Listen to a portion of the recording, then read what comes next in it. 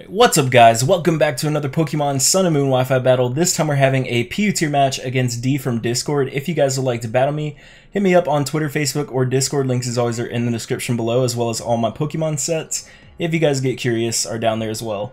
So we're using the same team as the last two videos. I kind of want to give uh, like teams that I build like three videos to shine, just to show you guys what the team does. Um, but anyway, looking at D's team, he has the Magmortar, Poliwrath, Electivire, Alolan Exeggutor, the Ditto, and the Hitmonchan. So we all we all pretty much know how scary Hitmonchan is down in this tier. So that was honestly the one mon I was afraid of. So this was a decent battle, guys. I hope you'll enjoy.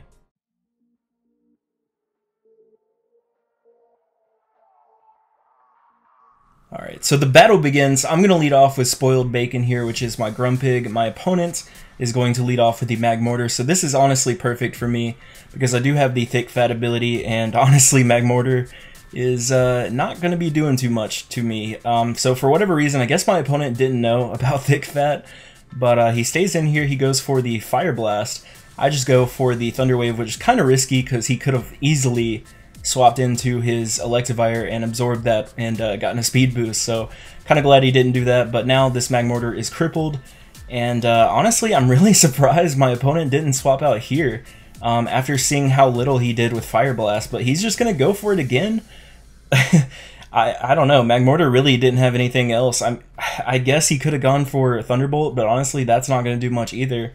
Um, yeah, I really don't know why my opponent didn't switch earlier. But uh, he is going to go ahead and swap into the Electivire now. And uh, Electivire is going to take a nice Psychic here on the swap in.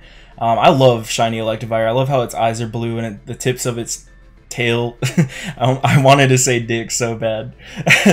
um, but anyway, the tips of its quote unquote tail or tails are blue. I like that. Um, so I'm going to swap out here bring out my boy Donald here, and uh, he's going to go for the Wild Charge, obviously being a ground type. That doesn't affect me whatsoever, and uh, he's going to get the hell out of here, so I predicted that. I went for the Stealth Rocks on the swap. My opponent is going to bring out the Poliwrath now, as I get up my rocks. And um, so here, obviously, I'm kind of fearing the Scald, so I kind of want to get out of here. Um, even the fighting move would probably hurt, but the Scald would probably do a little bit more. Plus, I don't want to get burned, so my opponent makes a good play here, setting up on the swap. He goes for a sub, and uh, it sucks, but it's honestly not that big of a deal as I bring in Spoiled Bacon once again. My boy Grumpig actually doing some work in this battle. Let's go. Um, so he's going to go for the Belly Drum here, and uh, that is a little scary for me, honestly. Um, I was really hoping he didn't have like that Speed Berry or whatever. I think it's Salac Berry. I might be wrong but uh, he doesn't, and uh, that's totally okay with me. Um, so I'm just gonna go for the Psychic here just to break its sub. And uh, honestly, nothing on my team wants to eat eh, like anything at plus six from this thing. Um, so unfortunately, my boy Grumpig here is gonna have to take a plus six stab waterfall. And uh, unfortunately, Grumpig is going to go down here, but that's fine because now I can bring in something that outspeeds this thing. Um, obviously, Poliwrath is slow as balls, so I'm going to bring out Lilligant here. I, I definitely outspeed him by miles. And uh, I'm just going to go for the Giga Drain here that is going to kill off the Poliwrath. So I don't have to worry about getting swept today, thankfully. And uh, my opponent here is going to bring out the Magmortar once again. And um, here I kind of felt that the Shattered Psyche, even though I don't have any Quiver Dances up, I kind of felt like it would kill. I actually calced it. There was a chance for it to kill, but of course, me being Chad, I have the worst luck in the world. He's actually going to live this on just a sliver of HP, so I was really, really bummed about this. Unf I swear, Lilligant always goes down to Magmortar for some reason. Every time I think that Shattered Psyche is going to kill, it doesn't. um, I think I actually killed one Magmortar with Shattered Psyche my entire time using this team. but um, unfortunately, like I said, he's going to live. He's going to Fire Blast me. And uh, yeah, no more Lilligant. so that really sucks because Lilligant is one of the team sweepers, and to have that thing gone, I'm definitely a little bit behind this battle. Um, as my opponent's only lost one mon, I've lost two. So here I'm going to even out the score here with my boy Le Pew and uh, go for the poison jab that is going to kill off the Magmortar. Now my opponent is going to bring out the Electivire And uh, I was pretty confident that after Stealth Rock's damage and from the range of HP that he's at, I was pretty sure a Stab Sucker Punch was going to kill him. So that is exactly what happens here. So Le Pew claiming two lives so far. And uh, man, can I just say, I how much I love Skuntank. Like I, this is one of the mons that I had never used previously, and he has really, he's really grown on me. So here, he, my opponent's going to bring on hit or bring out Hitmonchan, and he goes for a Drain Punch.